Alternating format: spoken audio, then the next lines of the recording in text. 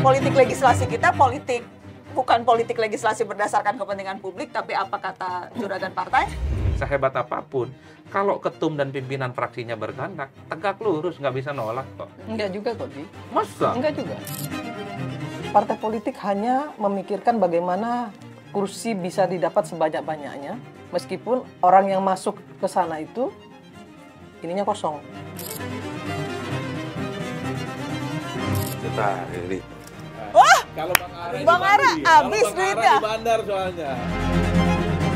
Ya turun ke bawah dong. Kalau memang Anda meyakini apa yang Anda perjuangkan, turun ke bawah dong.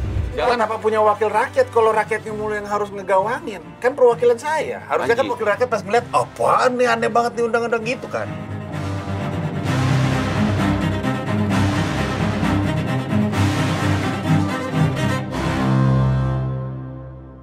Assalamualaikum, selamat datang di Mata Najwa. Saya Najwa Shihab, tuan rumah Mata Najwa. Kali ini saya mengundang sejumlah teman untuk bermain monopolitik.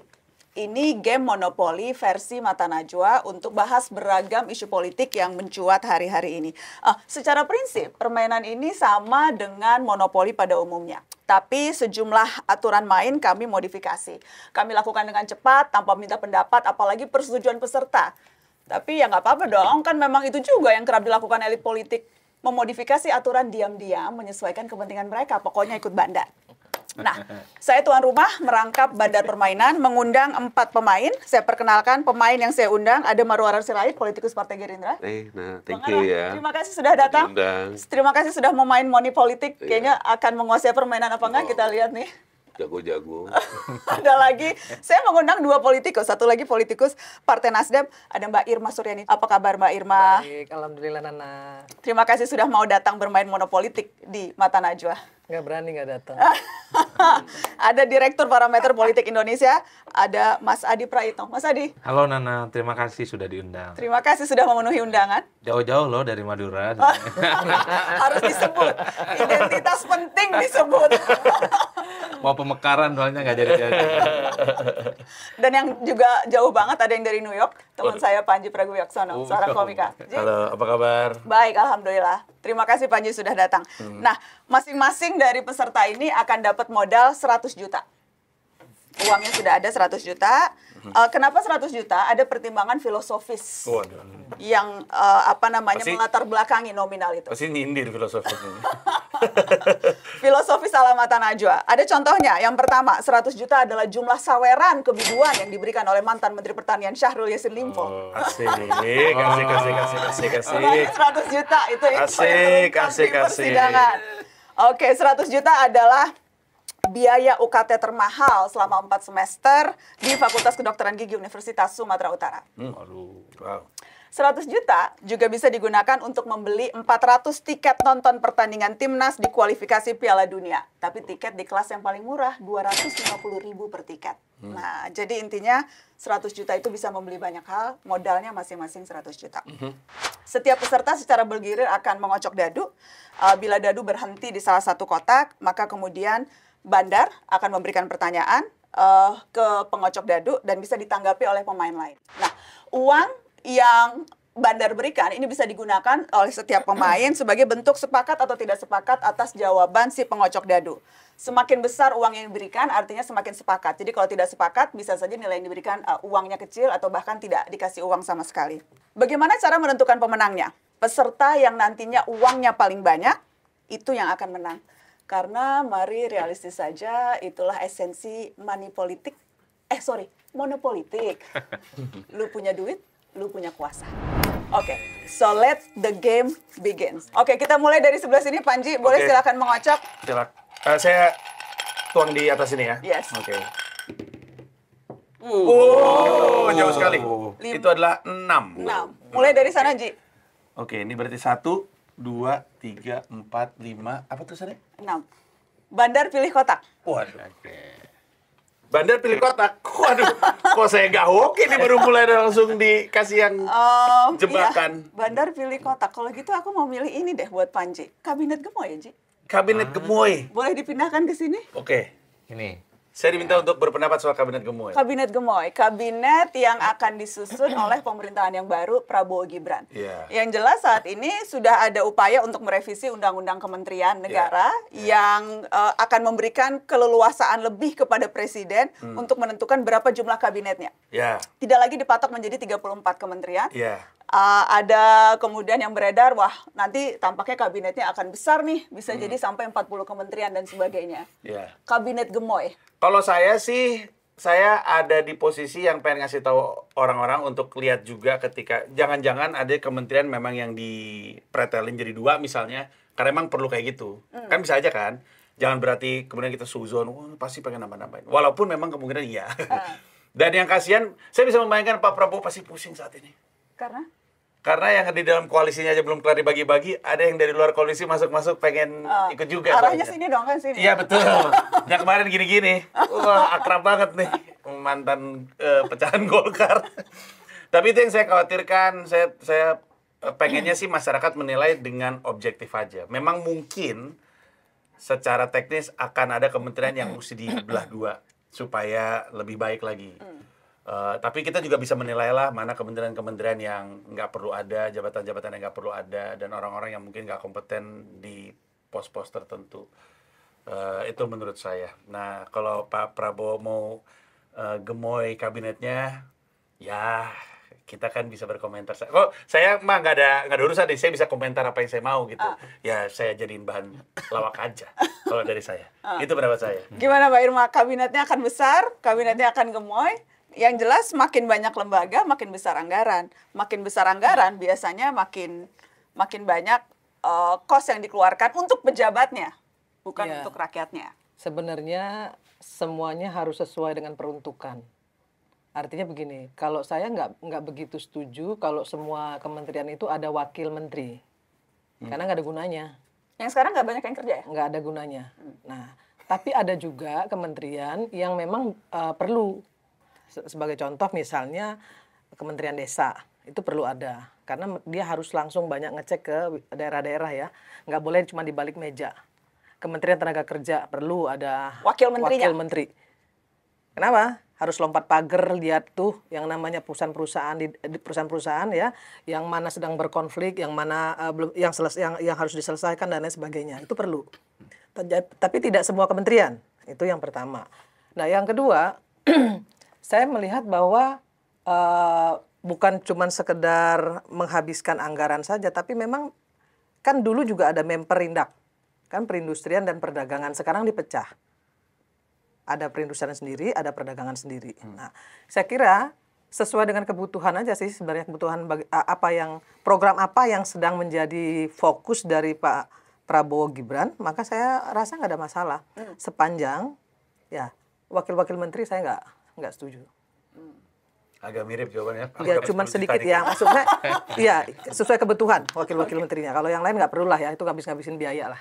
Boleh saya minta komentar yang lain? Mas Adi, ini kabinet dong. gemoy, kabinet besar untuk kepentingan supaya programnya tercapai atau kepentingan menjaga hubungan koalisi supaya kompak semuanya dapat jabatan.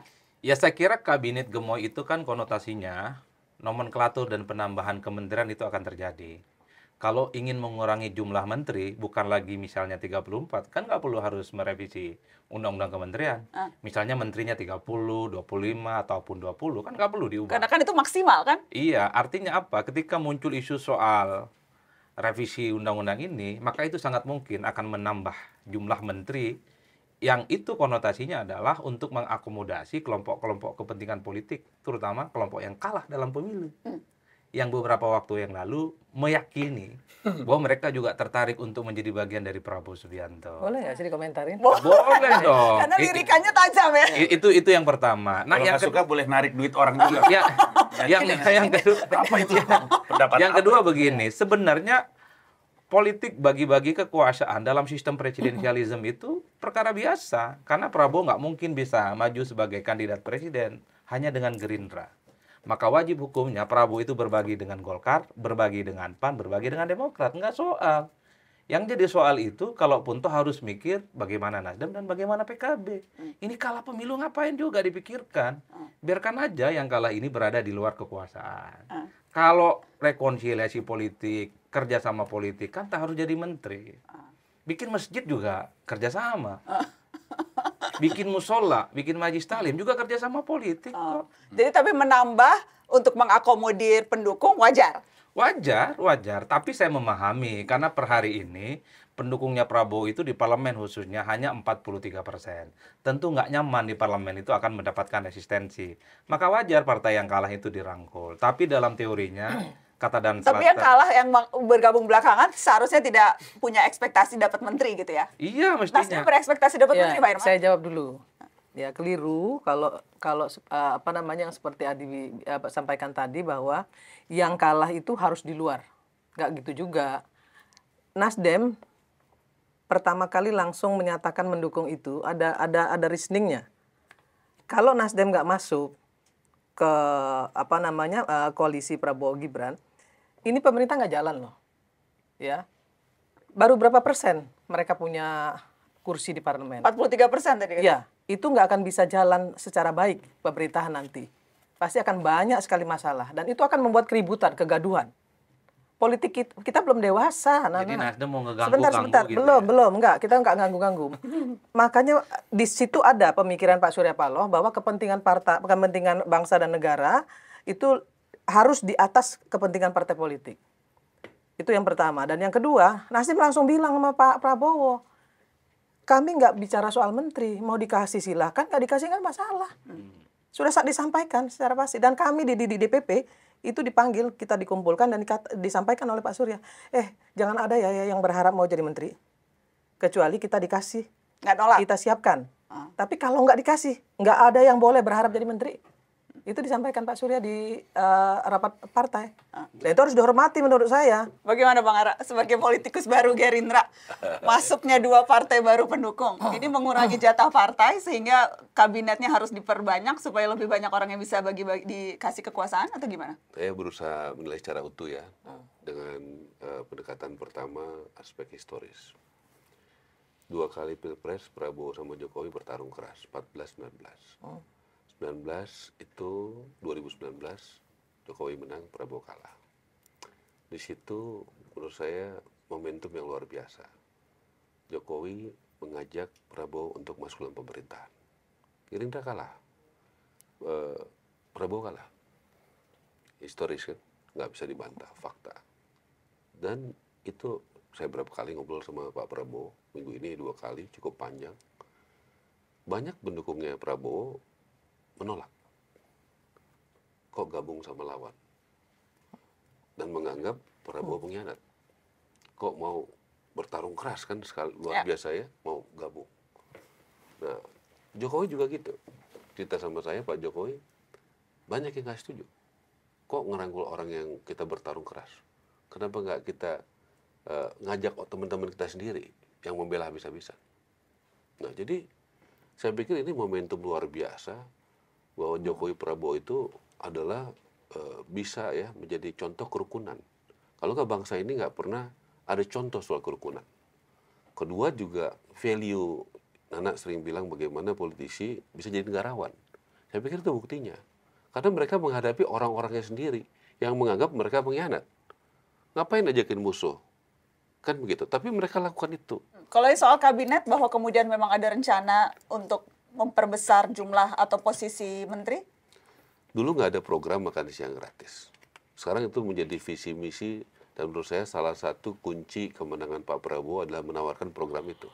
Yang bagi banyak orang mungkin itu adalah program yang yang nggak penting nggak masuk akal nggak prioritas. Tapi saya percaya itu eh, dalam beberapa kampanye saya tanya langsung kepada rakyat setuju nggak program makan siang gratis? Setuju yang saya tanya saya tanya ibu-ibunya. Untuk anak sekolah ya. ya ibu- jadi artinya eh, tentu itu harus dieksekusi karena itulah janji kampanye. Dan dieksekusi lewat eh, ya pos bentuknya nanti kita pikirkan. Tentu Pak Prabowo yang apa menyampaikan tapi itu adalah janji kampanye yang harus di- dila- dilakukan kepada apalagi itu termasuk yang sering disampaikan. Tentu ada banyak yang harus dibereskan. Apakah anggarannya apakah teknisnya apakah SDM-nya tentu juga bagaimana dampak eh, membuat ekonomi bertumbuh dengan besar. Kembali ke tadi pertanyaan soal kabinet gemuk itu. Jadi menurut Anda memang wajar kalau kabinetnya menjadi lebih besar karena yang dijanjikan Pak Prabowo selama kampanye juga sesuatu yang besar-besar. Sesuatu yang baru, sesuatu yang belum ada. ya, Itu kalau Yang anggarannya banyak, anggarannya besar. Iya, Nanti dan- uangnya habis buat bikin buat dan, dan bikin damp- dampaknya besar, baru nggak? dampaknya kan besar. Cuma untuk catatan aja sih, karena eh, kalau niatnya juga salah satunya untuk efisiensi, untuk efektivitas anggaran, eh, lem- lembaga administrasi negara pernah menghitung dana operasional pejabat eselon 1 di kementerian bisa 500 juta setahun. Dan rata-rata ada 10 pejabat eselon 1. Itu baru dana operasional aja. Jadi kekhawatirannya nih semakin besar ang, apa namanya kabinet, semakin besar porsi anggaran yang akan ke pejabat bukan ke yang rakyat. Itu ada kekhawatiran Tadi bagus Mbak yang, Irma, yang tadi kan kemudian kita juga latih melatih sportivitas ya. Saya pikir Oke. setuju. Tidak usah semua ada wakil menteri yang nggak perlu. Iya. Kan apa sih urgensinya? Tapi Hmm. yang perlu kalau perlu dua wakil menterinya. Jadi yang nggak perlu ya nggak usah. Jadi Hmm. Oke. jangan di Sesuai apa kebutuhan. dibuat apa mengada-ngada gitu loh. Itu aja saya pikir ngurus, Jangan ngurus negara ini. apa Iya. namanya partai-partai yang kalah yang kata Adi tadi. Jangan semata-mata karena itu. Kalau itu yang dilakukan ya sama aja. Partai yang kalah kalau ada kader yang bagus dan sesuai visi misi Pak Prabowo dan bisa dalam gerbong besar ini, kenapa enggak Mbak? Kan gitu. Iya, asal itu betul-betul sesuai dengan tupoksinya. Iya. Kan di situ. Maksudnya duduk samping-sampingin aja sudah sih. tanggung kayaknya. maksudnya, maksudnya, maksudnya jadi janganlah cuma wakil menteri Kan gitu. Partai yang kalah harus menteri. Kalau wakil menteri nggak cocok lah buat Nasdem gitu Enggak. maksudnya. Kalau saya kan secara prinsip begini, nak, bahwa pemilu itu kan kompetisi. Jadi wajar dong kalau yang menang itu ingin mengakumulasi semua yang apa yang dapatkan, presiden, menteri, dan nggak perlu berbagi ke yang lain. Itu kan esensi dari pemilu. Jadi jangan dituduh juga bahwa ketika kekuasaan itu didapatkan secara mayoritas dan maksimal, nggak mau dibagi ke yang kalah itu otoriter dan tidak rekonsiliatif. Yang kedua bagi saya supaya pemilu itu ada gunanya. Pemilu ini kan soal kalah menang. Contoh, kayak Demokrat AHY ingin menunjukkan kepada pendukungnya Amin bahwa AHY bisa jadi menteri dengan Demokrat itu dengan jeripaya dan perjuangan luar biasa.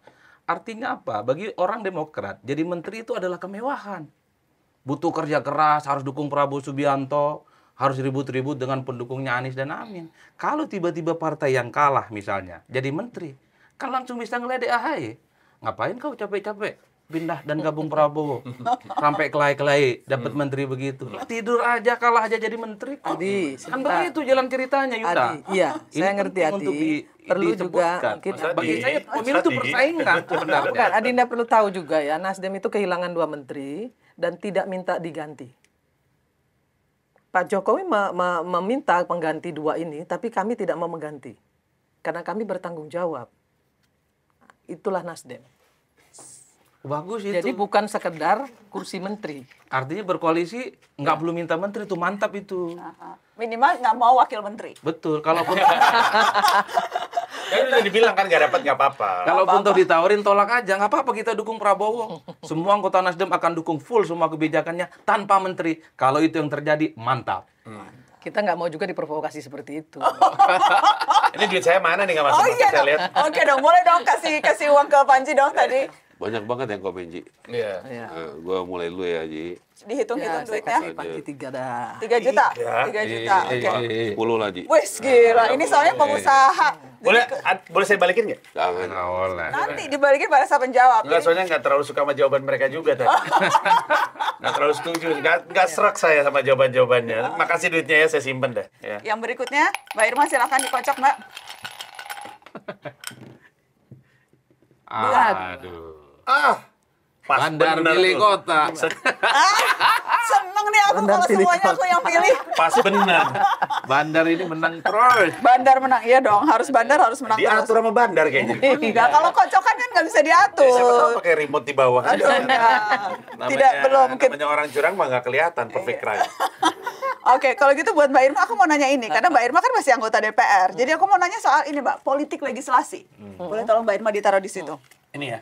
Yes.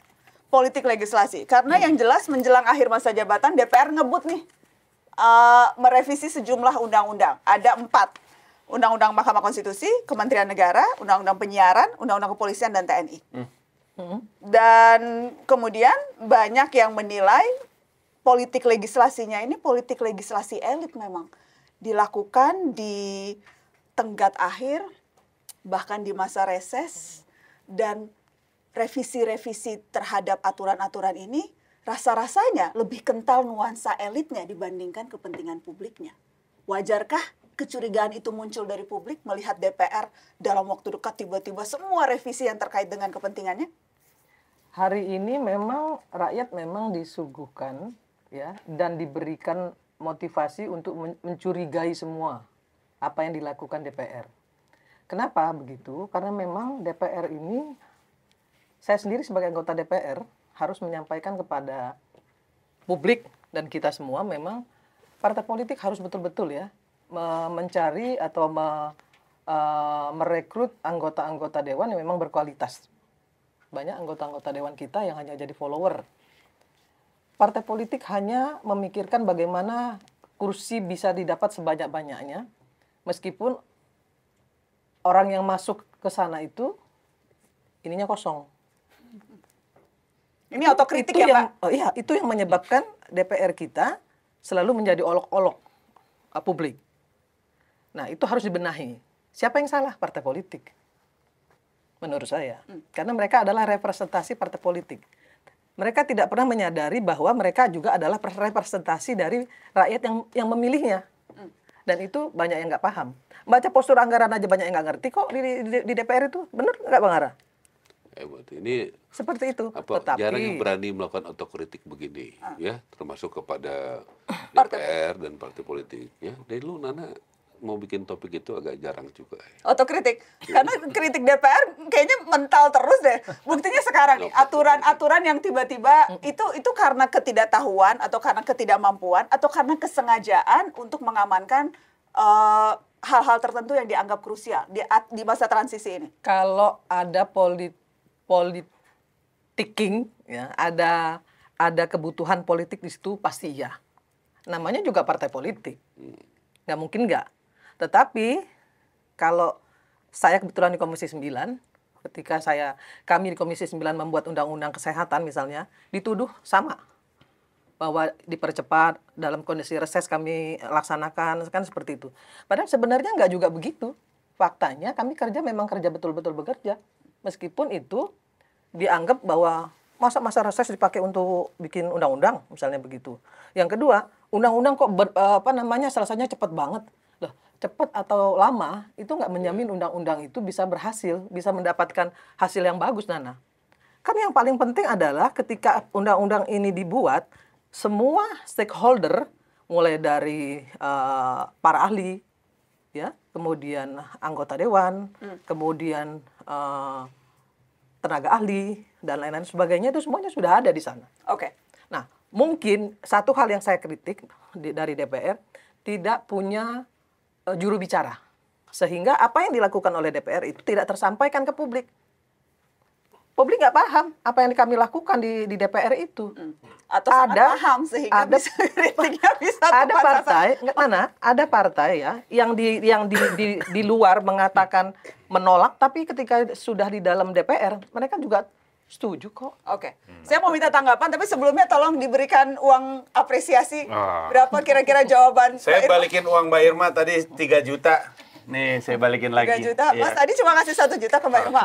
Nggak puas saya dengan jawabannya. ah iya Saya 12. Wih, selalu banyak loh. 10 juta, 12 juta. Hati-hati Ya, karena habis mau minta duit lu itu. Kenapa cuma Bandar, kenapa, kenapa bandar. tidak sepakat? Ya sebenarnya begini, kalau soal revisi undang-undang itu kan konsensus elit memang. Kan selama ini anggota dewan itu selalu mengklaim atas nama rakyat. Pernah tidak selama DPR ini menjabat misalnya, setiap membuat keputusan undang-undang itu dikomunikasikan dengan rakyat, minimal di basis konstituennya masing-masing. Kalau saya anggota dewan Dapil Madura, saya akan bilang apakah akan setuju revisi undang-undang ini atau tidak. Itu kan idealnya.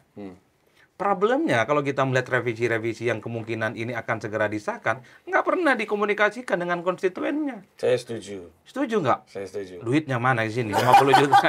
Nanti duitnya mas, kan duitnya It- itu saya udah saya balikin. Eh, itu, itu itu yang pertama secara prinsip. Nah yang kedua di partai itu ada oligarkis ya, bahwa ini nggak bisa dibantah bahwa dewan itu sebenarnya adalah petugas-petugas partai semua. Kalau ketumnya berkehendak, elit partainya berkehendak, sehebat apa pun argumentasinya, sehebat apa pun argumen-argumen yang lainnya, itu pasti akan tegak lurus dengan keputusan partai. Banyak kok buktinya. Partai-partai itu rapat misalnya nolak kenaikan BB BBM.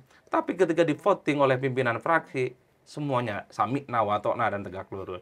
Oleh karena itu bagi saya, memang susah kita berharap dari anggota dewan secara personally yang punya kapasitas, punya kompetensi, dia down to earth ya, menyerap aspirasi masyarakat secara langsung.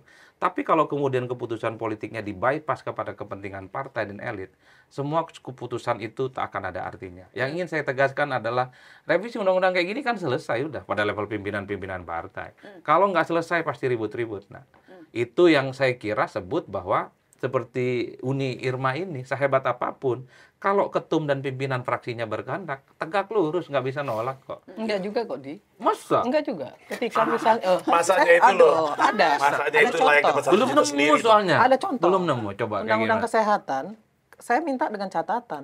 Partai minta setuju. Saya minta dengan catatan. berarti Uni ini pernah mengalahkan keputusan partai Bukan Wah, mengalahkan, tapi saya menyampaikan kepada partai, tambah lagi kalau kita saya menyampaikan Apa kepada lagi? partai reasoningnya kenapa saya bilang harus dengan catatan soal mandatory spending. Itu saya saya langsung bicara dengan ketua umum. Ketua umum Hmm. tapi tadi pada bilang harus ta- tapi pada akhirnya endingnya ya harus mengikuti apa titah dari petinggi partai. partai Pa- partai kan mengatakan setuju. Tapi saya menyatakan setuju. Dengan oke, catatan. tapi dengan catatan. Iya, Ini harus disampaikan ke publik. Pas dilihat catatannya, Dan ketika juga. enggak, enggak, enggak, enggak begitu. Dan kita sampaikan itu di paripurna loh. Oke. Sampaikan di Hmm. paripurna Panji. ya. Bang Ara, bagaimana Anda pernah tiga periode jadi anggota DPR? Politik legislasi kita politik bukan politik legislasi berdasarkan kepentingan publik, tapi apa kata juragan partai? Ini, saya setuju sama Mbak Irma. Walaupun itu langka.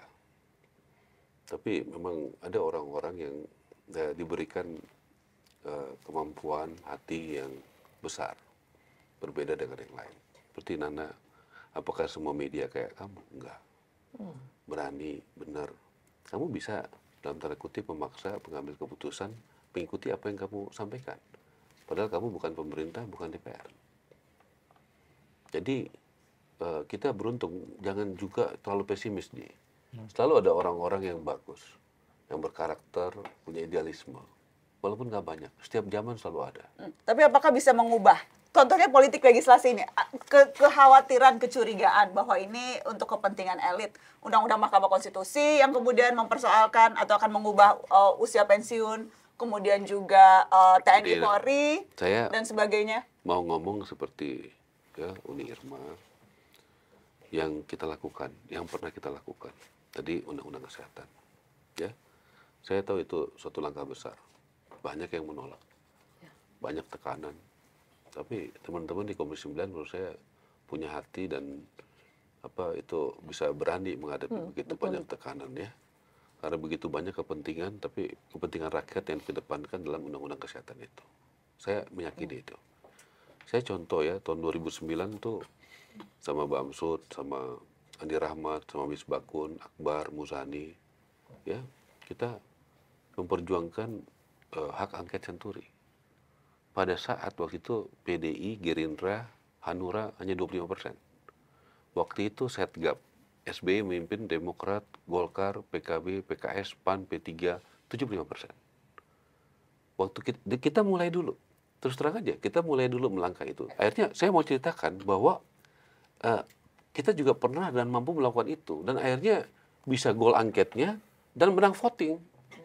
Ya tentu ada syarat-syaratnya. Memang diperjuangkan itu adalah hal yang objektif. Saya hanya mau mengatakan kita nah, harus optimis negara ini. Kalau kita benar dengan cara yang benar, pendekatan yang benar, kita yakin kok bisa mendukung rakyat. Buktinya yang saya sampaikan tadi dengan hanya modal dasar 25 persen, kita bisa memenangkan pertarungan di DPR. Itu fakta. 2009. Kalau sekarang, jadi bagaimana Anda melihat proses legislasi? Apa yang dilihat publik sih kalau melihat anggota Irma waktu itu udah anggota DPR ya, 2009. Oh, belum. Tapi Saya apa yang saya sampaikan setuju kan? Ya betul. Saya sih nggak gitu yakin ya. Saya lebih eh, percaya bahwa ada banyak sekali yang terburu-buru, bahkan cenderung tersembunyi saya bisa bilang kalau misalkan forum yang ada di meja ini tahu isi RUU penyiaran juga tidak akan pernah mungkin merasa sepakat bahwa itu dilakukan dengan diskusi yang matang dan benar gitu. Nggak pernah. penyiaran itu belum ada. Maksudnya ini draft Baru draftnya baru baru draft yang yang banyak banyak versi. Iya. Belum ada RUU penyiaran. mendingan jangan sampai ada beneran ya karena isinya tuh ngaco banget. Ada, Ya, karena ada salah itu, satunya itu itu kan dibilang itu draft dari banyak versi. Hmm. Jadi sebenarnya itu belum boleh disa- dikatakan bahwa itu eh, adalah eh, draft yang dari dari pemerintah atau dari DPR. Eh, dengan Jadi, segala coba hormat suarakan ini. apa yang kamu tolak. Itu di dalam situ ada satu ada satu yang mengatakan bahwa produk penyiaran atau produk yang disiarkan tidak boleh menggambarkan ada karakter yang jahat. Jadi ketika kita menaikkan sesuatu nggak boleh ada orang yang karena takutnya katanya terinspirasi akan kejahatan yang dia lihat. Dan ini kan nggak masuk akal. Ini akan udah nggak masuk akal secara prakteknya juga aneh. Kalau itu diloloskan, Batman nggak seru. Isinya cuma keluar sore-sore nyari kopi susu gula aren. Eh, Panji, gini seru. ya. Ke mana Batman? Cari kopi. Tidak ada penjahat di dunia ini. Dilarang RUU penyiaran. Saya rasa kamu hebat. Kamu sudah mulai, ini akan itu. ditonton jutaan orang. kamu sudah mulai meyakinkan rakyat bahwa itu nggak perlu karena alasan itu. Seperti yang saya sampaikan tadi. Nana tidak perlu memerlukan menjadi menteri, pemerintah, atau jadi DPR. Tapi dia bisa meyakinkan rakyat Iya. bahwa itu, benar, nggak itu tidak benar. Kamu jalanin terus apa yang kamu yakini, Tapi Panji. tapi dalam kan apa punya wakil rakyat kalau rakyatnya mulu yang harus ngegawangin? Kan perwakilan saya. Harusnya kan Panji. wakil rakyat pas ngeliat, apaan nih aneh banget nih undang-undang gitu kan. Kan nggak Panji, ada, belum di mana-mana ada. ya di dunia ini Kenapa harus ya, nyalain wakil ada rakyat? Orang itu parlemen, belum ada di itu belum ya, ada. Di Ada DPR ekstra parlementer ada. ya. Parlementer Kan, ya, dan ekstra parlementer. sampaikan. Kalau semua keputusan di di gedung DPR itu sudah sesuai dengan harapan rakyat, nggak perlu lagi ada orang demo, nggak perlu lagi orang menyampaikan aspirasi. Kamu sudah benar melakukan apa yang kamu lakukan barusan. Memang harusnya enggak. Mahasiswa jangan diharapkan demo mulu kan mereka kan Loh, harusnya studi. menyampaikan demo sesuai aturan dengan Nggak apa-apa. memberikan pikiran tidak ada masalah. Problemnya Kita negara adalah sudah demokrasi. demo, sudah Saya pernah demo. berkeluar-keluar, politik legislasinya Sebagai anggota DPR pun tidak saya pernah mengikuti demo. apa yang disuarakan. Problemnya Iya. kan itu. Kalau buat Jadi benar Nana apa-apa. sebentar sedikit tambahin boleh Nana ya. Yang saya sesalkan mem ada yang saya sesalkan dalam pembuatan undang-undang itu banyak yang masih bersayap-sayap Nana. Sehingga apa? Sehingga eh, ba- multitafsir. Itu yang kemudian merugikan masyarakat. Nah, yang begini-begini harusnya diperbaiki. Di- saya masuk eh, ketika bikin undang-undang, saya nggak mau itu yang ada bersayap-sayap pasti saya tolak. Karena itulah yang yang membuat DPR itu makin buruk di mata rakyat. Oke. Kita akan uh, mengocok yang berikutnya karena kalau ngomongin DPR bisa dikasih satu. uang. Oh, udah ya tadi? Udah tadi di awal. Kalau ngomongin DPR ini bisa bisa berjam-jam kita. Kita lanjut, Mas Adi. dikocok, nah satu Saya- lagi, terakhir ya. Jadi waktu kita anggota DPR dulu, kita menolak eh, pembangunan renovasi gedung DPR. Mbak, udah ada loh. Iya. Udah, tolak kan? Tolak. Bisa. Apakah ada yang setuju? Ada. Tapi kita menolak dan akhirnya tidak jadi. Jadi keberanian juga untuk menyampaikan pendapat itu harus kita lakukan gitu loh. Kita berharap lah nanti DPR-DPR yang baru akan seperti apa. Kita tunggu.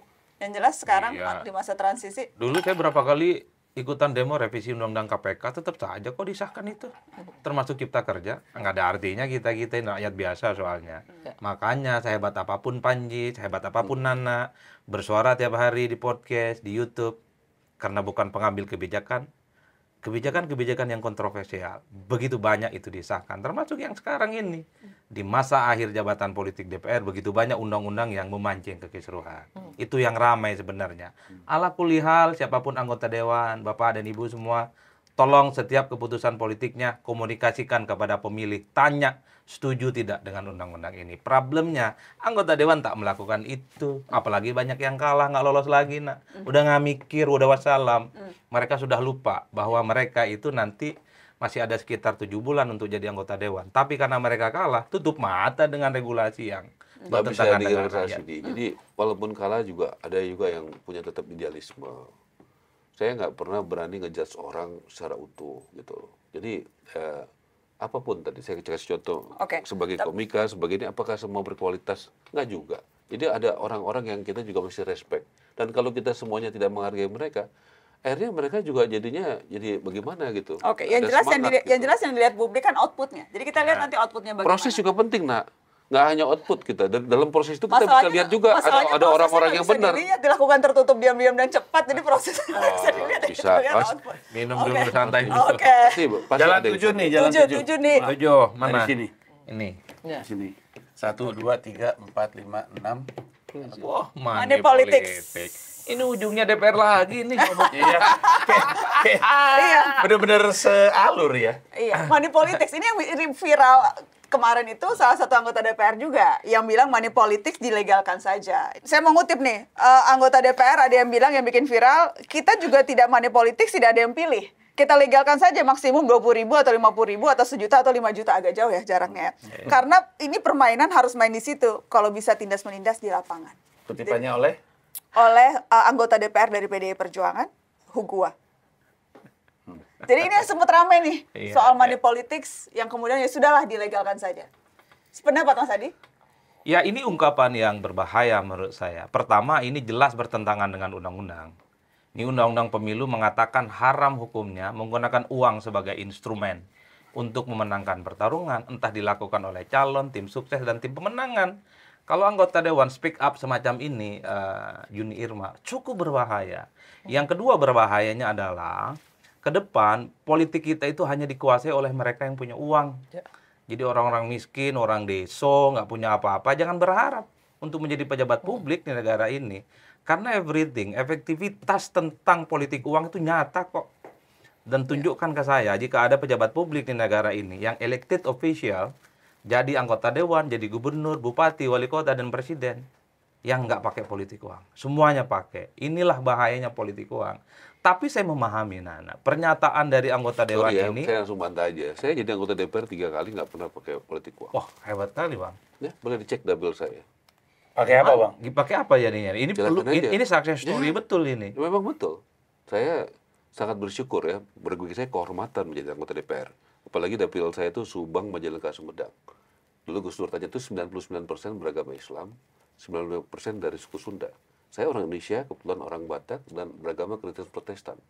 Saya bilang, Gus Dur saya menemukan umat Islam yang sangat luar biasa. Bisa menerima itu. Dan saya kebetulan suara terbanyak.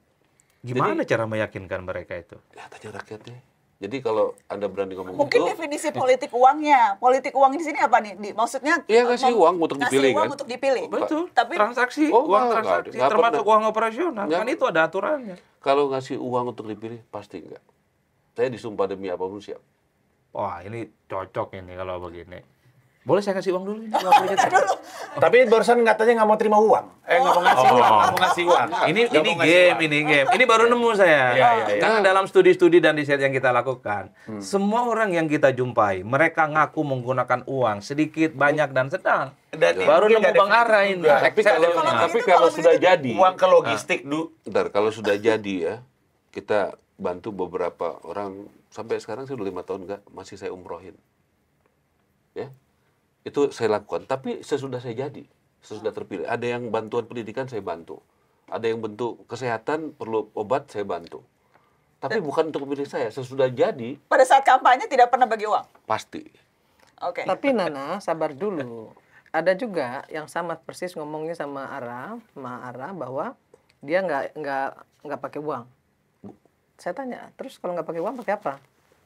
Pakai Muk. gelas setengah lusin dan dia impor dari satu negara. Ya artinya logistik kan uangnya nggak langsung benar-benar cash kan. Betul. Ya. Makanya saya tanya nanti sama Bang Ara. Karena gini, sebenarnya nggak pakai eh, uangnya Bang Ara ini, apakah eh, uang atau ada barang yang juga dibagikan? Gini Mbak, bahkan Saya tanya ya, ini kan Iya, saya tanya, Saya jawab langsung tahu. aja. Ada alat peraga yang diperbolehkan di aturan. Hmm. Selama itu kita lakukan, ya kita lakukan. Oh. Alat peraga itu bisa kaos, bisa Ya. kalender, ya kan? Kita bisa kasih apa-apa yang bisa diperbolehkan secara aturan. Kita lakukan dengan kreatif tentunya. Hmm. Bahkan kita bikin desain-desain yang lucu-lucu, yang menarik. Iya. Kalau itu saya setuju, saya apa namanya yakin masih bisa. Tapi kalau dulu ya, tapi kalau periode sekarang saya nggak yakin ada orang yang bisa Enggak, karena masuk. definisi Gitu Mbak Irma. Nggak yakin.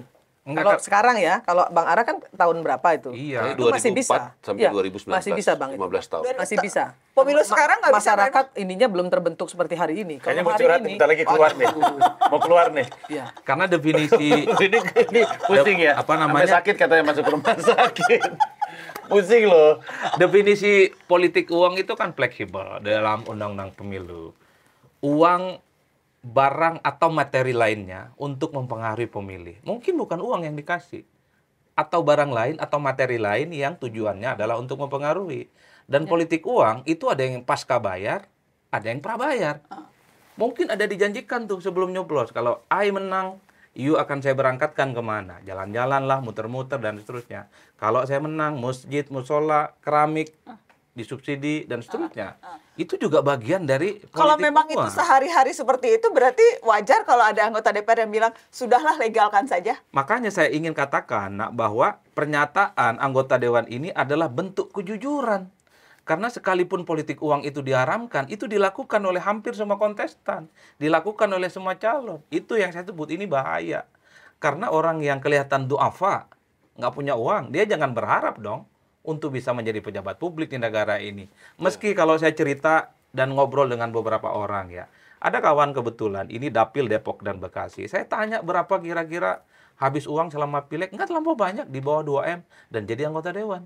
Tapi ada juga anggota dewan yang puluhan bahkan hampir 100 m, nggak jadi juga.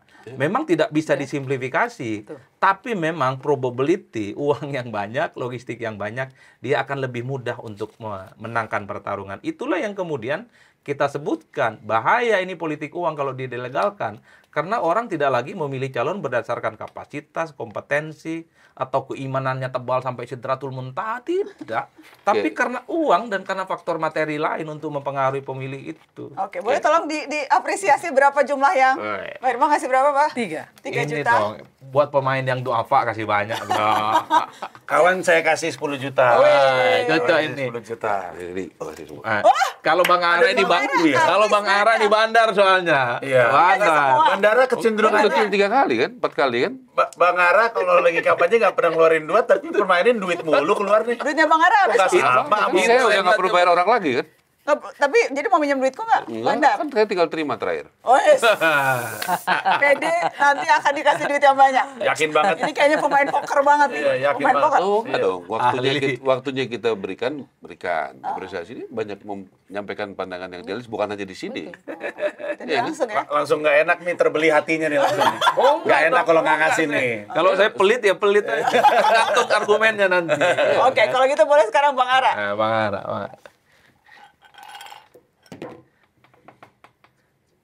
Delapan. 8. Satu kotak lebih panjang di situ tuh berarti itu. Dari mana? 08 nih. Wes. Mana? Ini Bang, ini Bang, abang. Mulai dari sini mana? Di sebelah situ tuh. Dari Delapan mulainya Tujuh dari- kan tadi kan? 7 8. Ini. Sebelah kanan tentukan kotak. Oke, jadi Mas Adi tentukan. Bang Nah. Ara harus menjawab yang mana atau Bagus. Sip membahas gua tergantung mana. Adi nih. Eh, Bang Ara nih ke mana?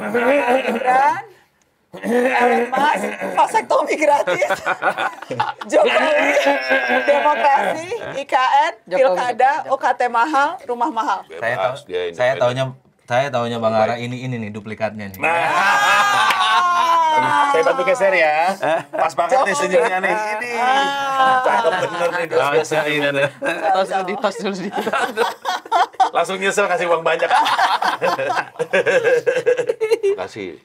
Apa yang mau tanya nih? Soal Jokowi. Bang Ara, Anda membayangkan Jokowi setelah eh, tidak lagi menjabat akan seperti apa, melakukan apa, Ekspresi. dan bagaimana ya? A- a- akan akan akan menjadi tokoh yang seperti apa? Seperti SBY kah? Lebih banyak melukis sekarang? Seperti Bu Mega yang masih ada karena juga merangkap ketua umum partai, jadi juga masih menentukan arah kebijakan partainya? Atau seperti apa Pak Jokowi setelah 2024? Saya kenal Pak Jokowi sekitar 18 sampai 20 tahun ya. Jadi cukup lah ya dan cukup intensif selama ini berkomunikasi sampai sekarang. Teman ngobrol yang enak, teman debat yang enak. Orang-orang kayak kita ini kalau feodal pasti nggak cocok, egaliter, terbuka. Jadi kalau dia sesudah 2024 Oktober kan begitu, jabatan pasti selesai, ya kan?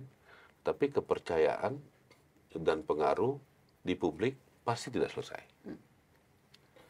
Eh, kenapa?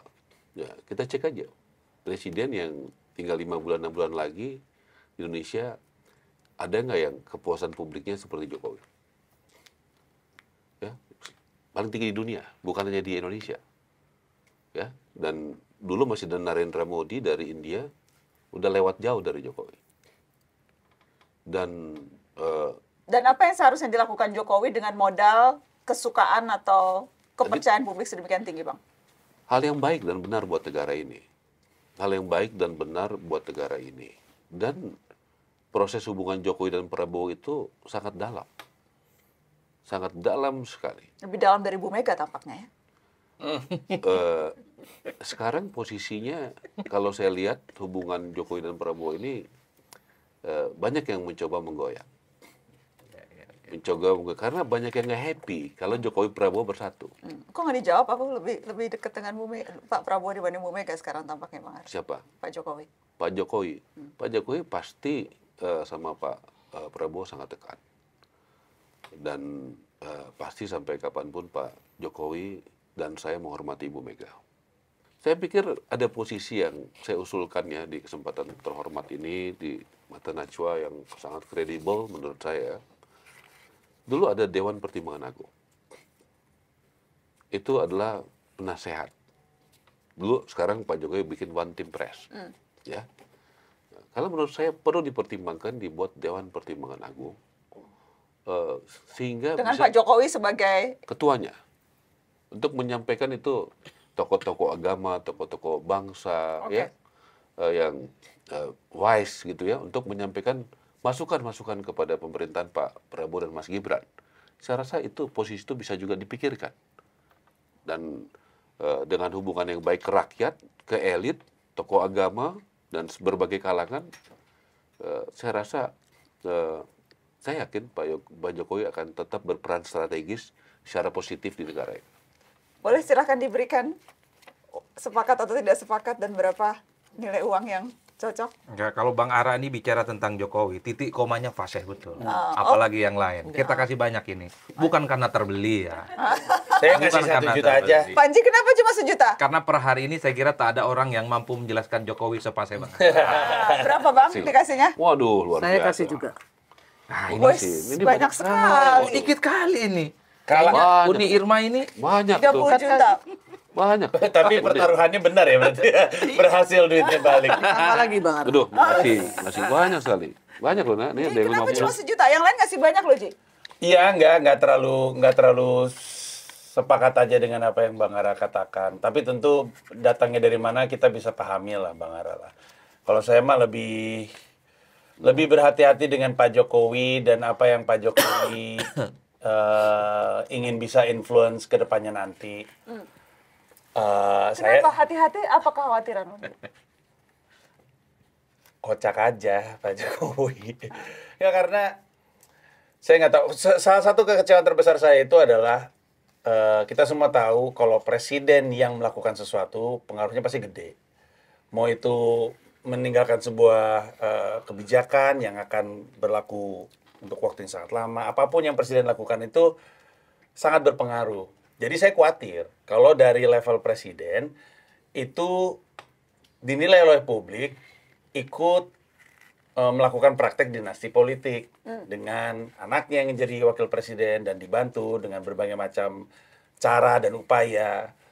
Karena kalau misalnya presiden aja melakukan tindakan seperti itu, orang akan bilang, terutama dinasti-dinasti politik di eh, kabupaten, di sejumlah daerah akan bilang presiden aja bisa, kenapa saya enggak? Sementara banyak rakyat di Indonesia tahu dampak dari dinasti politik di daerahnya mereka. Ada banyak banget daerah dan terbukti eh, yang kakaknya kena ditangkap, adiknya kena ditangkap, suaminya kena ditangkap ganti sama istri, istrinya kena juga. Ini tuh berlaku di mana-mana berkali-kali berharap untuk itu hilang susah karena presidennya melakukan hal yang sama. Boleh saya komentari? Silakan Mbak Irma. Saya kira Panji belum belum memahami arti demokrasi kalau mengatakan itu. Kenapa? Karena dinasti politik itu ada di seluruh dunia. Kalau saya lebih nggak, yang saya nggak setuju itu justru nepotisme, bukan bukan uh, dinasti politik. Kalau dinasti politik misalnya begini, Adi punya perusahaan, perusahaannya ini kemudian dia meng- menggantikan uh, dia sebagai direktur tuh anaknya, karena memang anaknya pinter, anaknya cerdas, pinter dan memang bisa memimpin perusahaan ini. Kenapa tidak? Kenapa harus orang lain? Kan dia percaya dengan anaknya ini. Perusahaan ya Mbak? Ya, Perusahaan keluarga ya? Apa pun. apa pun, termasuk juga di pemerintahan. Saya kira nggak masalah. Tapi kalau misalnya ini ada gubernur, anaknya ini nggak ngerti apa-apa, ada bupati, anaknya nggak ngerti apa-apa, tapi didorong. Terus di DPR atau dia menjadi bupati pelangga pelongo nggak bisa juga kerja, pekerja nggak bisa. Kalau orang mengatakan Pak Jokowi pelangga pelongo, tapi ah, yang dis- yang yang yang sudah kita nikmati hari ini itu juga ber- berkat Pak Jokowi loh. Anak-anaknya? Anak-anaknya kan loh, anak-anak dia kan sudah punya istri. Enggak, Masa maksudnya dia nggak boleh eh, berusaha apakah- untuk untuk hidup dia sendiri Enggak, untuk maksud tadi kan kita kan bertanya kan, dirinya kalau sendiri untuk keluarganya. boleh. Anaknya Jokowi siapa bilang nggak kompeten? Menurut saya Kaisang contohnya nggak kompeten untuk Ya jadi kalau menurut partai. Anda, kalau menurut saya dia kompeten. Oke. Dan saya nggak bilang Anda belum tentu juga Anda kompeten menurut saya. Iya, Seperti betul. itu. Jadi nggak ada masalah gitu loh. Jadi menurut saya soal kompeten dan tidak kompeten, saya lihat ketika di debat, menurut saya si Belimbing Say- sayur ini kompeten. Siapa belimbing sayur itu? Yang suka dibilangin eh, Samsul, Oh Samsul. Belimbing sayur. Gibran Toh yang yang yang mengendorse kan partai politik juga. Bukan Pak Jokowi yang menyodor-nyodorkan kalau menurut saya. Oke, Partai saya politik kok yang nanya yang yang ya. mengendorse. Tar dulu, Seperti Mas itu. Adi, gimana Mas Adi? Ya, saya sebenarnya kalau Pak Jokowi itu tentang approval rating, tingkat kepuasan publik, itu nggak ada yang bantah apa pun. Tapi kalau diiris satu persatu, apa yang menyebabkan publik itu terus jatuh cinta ke Jokowi kan dua faktor sebenarnya, infrastruktur sama bansos. Dan itu ter- terjadi sepanjang Jokowi jadi presiden. Kalaupun toh ada isu kenaikan BBM, isu terkait dengan COVID, kemudian demokrasi juga dikritik dan seterusnya, tingkat kepuasan publik terhadap Jokowi itu tidak pernah di bawah 65%. Nah, karena itu tadi orang puas dengan infrastruktur. Dulu orang mau ke Surabaya repot, naik bis, naik kereta itu berdiri. Sekarang 8 jam sampai ke Surabaya. Bagus dong. Itu bagus. Artinya apa? Tingkat kepuasannya bagus. Yang kedua, bansos. Bansos kan bukan hanya cash and carry, tapi banyak bantuan-bantuan yang lain di UMKM dan seterusnya. Itu diapresiasi. Bagus juga kan? Kalau dalam konteks itu, itu bagus sekali. Tapi unfortunately, sebagai sebuah diskusi secara akademik, ada dua hal catatan penting. Pak Jokowi itu nyaris tanpa celah sebenarnya. Kalau tidak ikut serta apa yang disampaikan oleh Mas Panji, yang kedua tidak pisah dengan PDIP.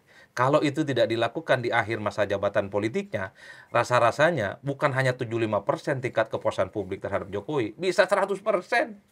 Karena catatan publik Jadi di menurut akhir Anda dua hal itu blunder Jokowi di akhir pemerintahannya? disebut blunder sih tidak, tapi ini akan diingat oleh publik karena dulu orang berharap Jokowi publik yang ini mana, Dek? Ya saya salah satunya Oh, kelompok-kelompok publik dong kalau Anda sendiri. kelompok-kelompok aktivis dan gerakan civil society Minimal di aktivis meja ini dua. Jadi ini Kalau aktivis dua bu- bukan publik karena dong. begini Artinya kan publik oknum. begini eh, Yuni Iya, iya. aktivis gerakan civil society kelompok-kelompok kritis lainnya pegiat-pegiat demokrasi kan cukup menyayangkan dulu Jokowi itu dinilai punya diferensiasi punya nilai pembeda dengan yang lain bukan darah biru bukan ningrat politik orang biasa-biasa saja jadi presiden publik juga berharap Jokowi itu tidak seperti elit-elit di negara ini yang punya kecenderungan untuk menyertakan keluarga besarnya terlibat dalam politik itu empat jempol saat itu. At the end of the day-nya, saya nggak mau berdebat soal proses ya Mas Panji. Anggaplah ini sudah selesai. Publik kan cukup menyayangkan sebenarnya kalau ini tidak dilakukan, tidak merestui misalnya anak, menantu dan seterusnya maju, ini saya kira akan menjadi cukup luar biasa ke Pak Jokowi. Nah yang kedua, itu tadi perpisahan dengan partai pengusungnya. Apa pun serumit apa pun hubungnya, ini yang kemudian membuat catatan orang-orang di negara ini akhirnya menganggap bahwa persoalan ideologi, identitas partai, loyalitas itu wassalam, udah nggak ada tuh. Kalau presiden saja bisa bisa bisa jalan dengan partainya, bagaimana yang lain? Tapi saya selalu bilang. Kan begitu. Jadi itu saya hilang selalu ya. bilang. Kan saya ini hanya memberikan Iya. satu catatan kritis saja. Iya. Kalau tanpa ini, dua hal ini, Pak Jokowi itu bisa dikasih nilai 100 kok sama orang. Selebihnya ya saya kira sudah selesai. Nana, loyalitas tanpa apresiasi itu nggak ada. Loyalitas itu pasti karena ada apresiasi. Kalau loyalitas, apresiasi, diapresiasi, orang itu diapresiasi, pasti ada loyalitas. Tapi nggak ada orang-orang akan loyal tanpa apresiasi nggak. Mbak Irma mau bilang Pak PDI Perjuangan Oh, tidak enggak, enggak. mengapresiasi. Enggak, artinya Iya, karena begini. sering disebut petugas partai. Itu ya kan yang Enggak, membuat enggak. nggak happy. Saya, Kan itu saya ini. hanya ingin mengatakan saya mencoba bahwa untuk bantu terjemahkan aja. bukan hanya bukan hanya Jokowi loh ya, bukan hanya Jokowi, iya. tapi, kita lagi semua bicara- kita. Kita lagi bicara Jokowi sekarang. Kemudian tadi kan Mbak Irma bilang itu. Bentuk Ya, apresiasinya sebetulnya apa manusia, manusia itu kalau manusia ya, Jokowi kan juga manusia. Manusia itu kalau tidak diapresiasi pasti nggak loyal. Ah. Itu aja. Hmm. Boleh Nana? Silakan Bang Ara. Karena ini saya ya. Ya. Makasih tadi statementnya tentu tidak ada yang sempurna. Siapa pun pasti ada kekurangannya ya. Cuma Tuhan yang sempurna, termasuk Pak Jokowi pasti ada kekurangan. Tapi pasti lebih banyak rakyat Indonesia yang percaya dan sayang sama dia. Apa kekurangan Pak Jokowi, Bang? Kalau menurut saya, terlalu sabar. Oh, itu kekurangan. Ya. Itu aja kalau menurut saya, terlalu sabar. Menghadapi? Ya, saya nggak usah jelasin ya, tapi terlalu, terlalu sabar loh. menghadapi teman-temannya. ya. terlalu sabar menurut. Nah, jadi tadi soal bagaimana masukan soal Mas Gibran, ya nggak kompeten, nggak apa. Saya rasa Nana sangat objektif. Tadi yang disebut Kaisang sih. Sebenarnya saya lebih ke Kaisang kalau kompetensi ya.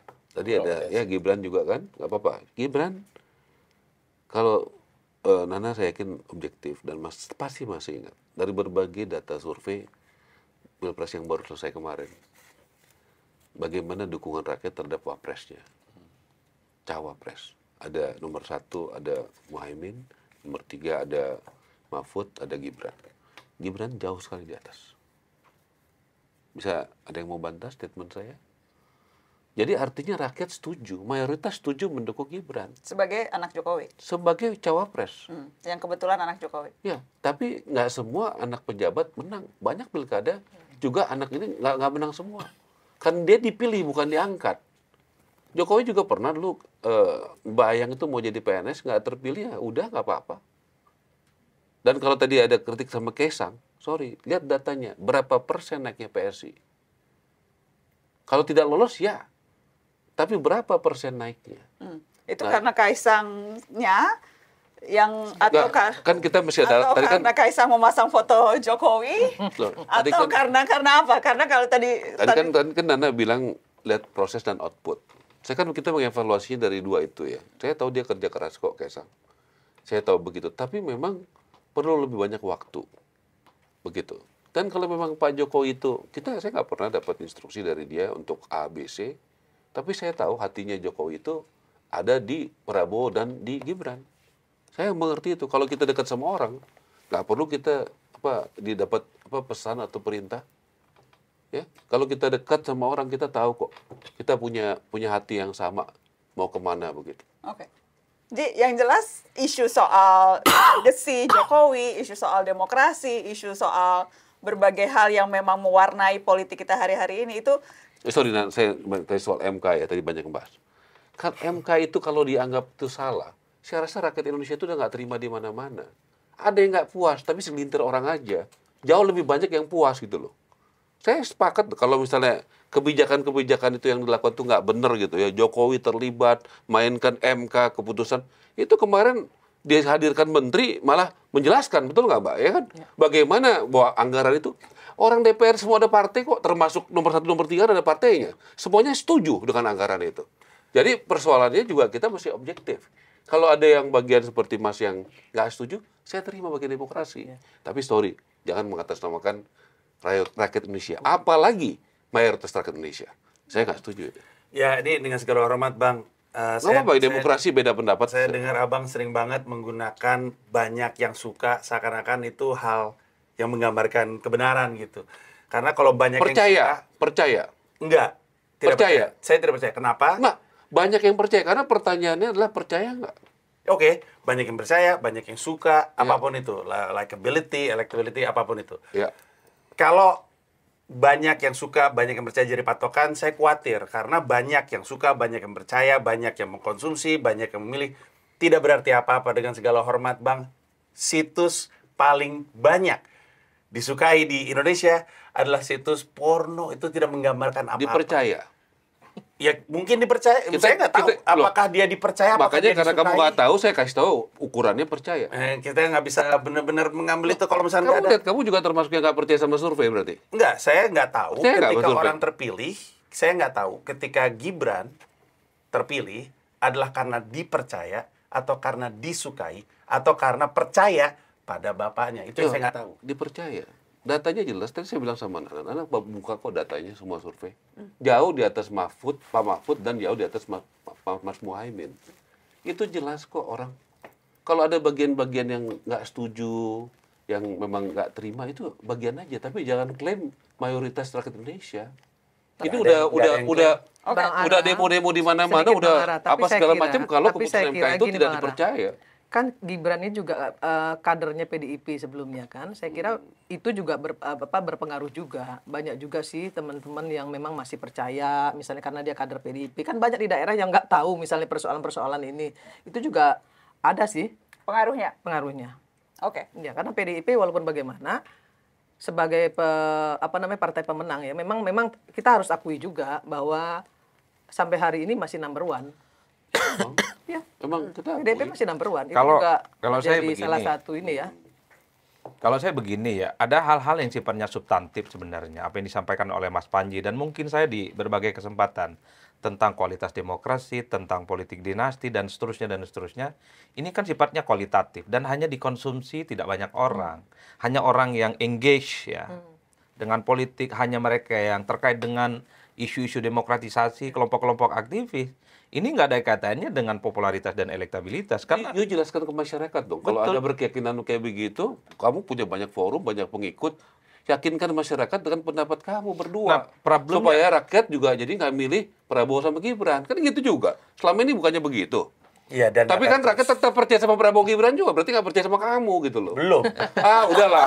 Kamu, kamu, Belum. kamu, Proses, kan, kamu kan udah lakukan. Proses. Iya. Nanti Jadi kamu gini, coba lagi, makanya lebih sering lagi ke publik gitu loh. Rencananya begitu. Ya, supaya rakyat percaya dengan depan, sampai Bang. hari begini. sampai hari Tahun ini. depan. Nah, sampai hari ini rakyat nggak percaya sama kamu. Gitu. Belum. Kalau saya sih nggak lihat Ada gitu. Udah, kamu jantan juga. gitu. Konteks nggak Ya, atau percayanya, konteks nggak percayanya karena belum pernah gitu. karena nggak pernah mencalonkan. Coba mencalonkan mungkin Oh, ini tapi mendorong ya.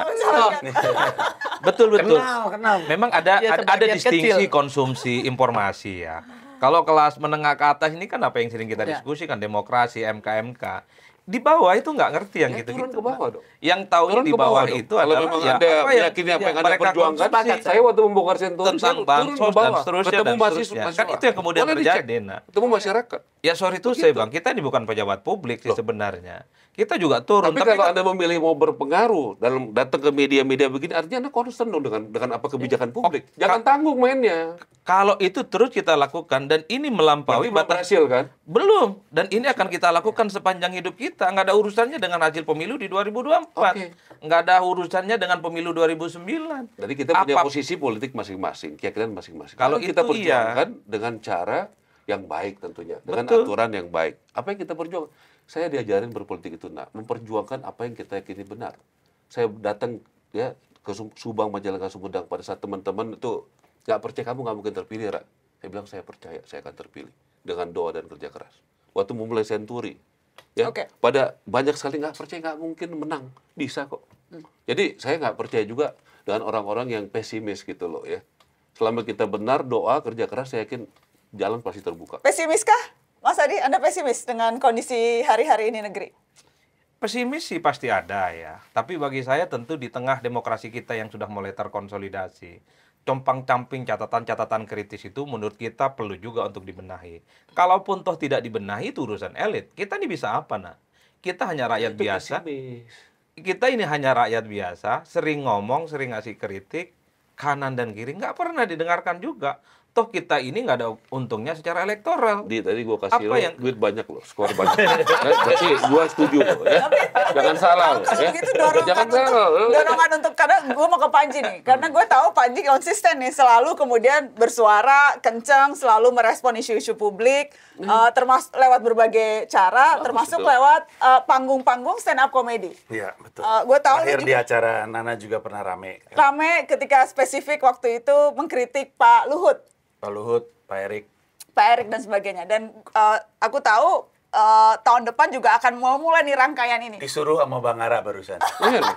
Gini, disuruh gini Panji ya. disuruh untuk turun ke rakyat dan Iya. bertemu dengan rakyat dan Nah, bersosialisasi. karena kita membutuhkan itu. Hmm. Jujur aja ya. eh, orang baik itu ada di mana-mana. Ada di pemerintahan Panji, ada di luar pemerintahan. Jadi nanti yang bersatu itu bukan hanya posisi politik, tapi ide, gagasan, dan value. Mhm. Saya berkawan baik sama Nana, kerjanya mengkritik pemerintah terus, betul nggak? Kita sama-sama di Satgas Anti Mafia Bola untuk tangkap-tangkap itu mafia bola. Saya selalu bilang. Jadi Nana, orang baik itu ada di mana-mana. Saya, saya menunjuk, jangan salah ya menilai apa yang Iya, saya sampaikan. iya. Justru Tenang. kita senang. Justru kamu. saya nurut sama abang. Abang kan nyuruh saya turun. Saya berencana seperti Kamu itu. sudah turun, tapi lebih rajin lagi. Ini gimana? Tidak nih? ada satu, ini kita ngomong fakta aja bang.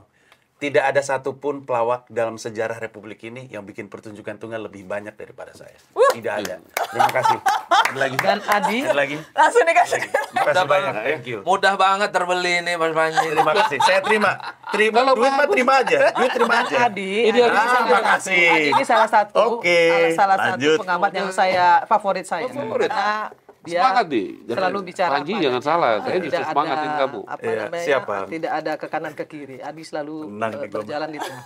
Menang. Nah, tapi tapi seperti yang tadi diharapkan dan seperti yang sudah terbuktikan, Abang mungkin kurang familiar dengan kerja saya, Mbak juga. Tapi saya nggak pernah berhenti dari 13 tahun 10 pertunjukan tunggal. Dan dalam setiap tahunnya selalu keliling Indonesia bahkan keliling dunia. Tahun depan saya mau ke 10 kota Indonesia, 11 sama Jakarta. Dan saya memang ngomongin hanya politik tahun depan. Judulnya mensrea, niat jahat. Satu, karena saya pengen bilang sama orang, sebagai pelawak saya nggak punya niat jahat, cuma pengen bikin orang ketawa aja. Tapi pada saat bersamaan, sebagai pelawak, saya pengen ngajak orang untuk tahu bahwa ketika kita ngelihat ada sebuah, sebuah keputusan dilakukan, ada sebuah tindakan diambil dalam politik yang juga dibaca adalah niatnya, ada niat jahat atau tidak. Dan itu akan saya jalankan, izin kakak-kakak senior-senior, semoga berkenan kalau misalnya nama kakak-kakak senior tersebut dalam lawakan saya, tapi itu atas rasa sayang. Bagus. Tahun depan. Berapa berapa harga tiketnya? 10 juta enggak? Ah, enggak sih. Eh, kalau 10 juta enggak ada yang Tergantung, datang. Dong ya. tergantung nontonnya di mana. Nanti infonya di mensrea.id. Tiketing, iya, bagus. Oke. Ya. Dan dan isu-isu ini itu isu-isu yang kemudian akan kamu olah. Iya, iya, 100% Karena harus politik. ada kontrol sistem yang Iya. efektif kepada pemerintah. Kalau tidak, pemerintah itu akan jadi diktator. Iya, Iya. setuju. Harusnya sih di DPR ya. Nggak harus di DPR. Semua semua semua semua kita ter, eh, punya tanggung jawab. Kan ada tanggung jawab kita sebagai bangsa dan negara. Ada kita punya ada hak dan ada kewajiban. Ya, siap. Kalau kita paham dengan undang-undang harusnya tahu itu. Siap. Enggak begini sebagai sebuah kesimpulan. Marcus Mister itu menulis eh, satu temuan yang menurut saya menarik tentang Indonesia. Koalisi mayoritas itu dalam banyak hal memang merusak demokrasi. Karena kelompok-kelompok kritis, kelompok-kelompok yang selama ini memberikan pertimbangan itu nggak bersuara. Karena koalisi yang dibangun bukan hanya dengan mayoritas partai, nah, dengan ormas, dengan generasi dan kekuatan-kekuatan politik. Itulah yang kemudian membuat kenapa koalisi mayoritas itu tidak inline dengan perbaikan demokrasi. Makanya saya selalu mendorong yang kalah pemilu dikeluarin aja, nggak usah ajak kok, nggak usah diajak rekonsiliasi. Ngapain harus bagi-bagi kekuasaan? Dan ini yang saya kira memang membuat kenapa kekuasaan presiden begitu mayoritas dan kuat karena semua kelompok-kelompok kepentingan politik LSM, Ornop, bahkan kawan-kawan media dalam banyak hal kan juga terafiliasi dalam banyak hal. Sehingga sikap kritis, check and balances dan perimbangan itu tidak ada. Jadi ini ada teori dan temuannya. Karena ketika semua kelompok-kelompok yang selama ini kita harapkan sebagai kelompok yang mampu memberikan satu perspektif lain dari pemerintah, satu persatu menjadi bagian dari pemerintah, jangan berharap di situ akan muncul ada sesuatu yang bisa dibanggakan, terutama terkait dengan perimbangan-perimbangan opini yang berbeda.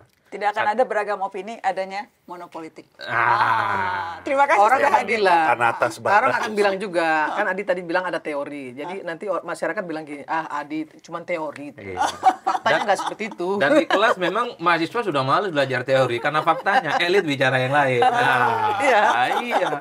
Ngomong bahwa politik dinasti nggak benar, tapi banyak di mana-mana. Ngomong haram politik uang di mana-mana dilegalkan, misalnya Ya gitu. partai kan. politik semuanya dinasti kok. Makanya hopeless kita ini. Nggak mau cuma presiden, juga. semua partai politik juga dinasti. Oh iya, iya, nggak ada masalah. Semua pejabat daerah dinasti. nggak ada masalah. Yang saya sebut Bukan ini, cuma di ini- Indonesia loh, di seluruh dunia. ini soal perspektif aja, catatan-catatan kritis yang KKN yang yang nggak yang nggak boleh sebenarnya. Kalau dinasti politik seluruh dunia pasti ada. Ah, yang bahaya sudah dinasti politik KKN pula. Nah, itu yang paling bahaya. Itu yang paling bahaya. Sebetulnya nih, Siapa? Oke, diskusinya oke. menarik. Sebut dong siapa? Siapa? Ya, nggak tahu. Kenapa jadi gue? Bukan jawabannya di Mensrea. Waduh, siap. Terima kasih Ah, banyak. Mensrea. Boleh, jadi kayaknya Panji yang menang nih. Iya, kelihatannya. Ya, Panji Iya. menang. Kalau perlu saya tambahin nih, Ji. Aduh, terima kasih. Udah. Ya, Kalau perlu ya, saya kasih ya, poin. Iya, iya. Oke, terima kasih banyak.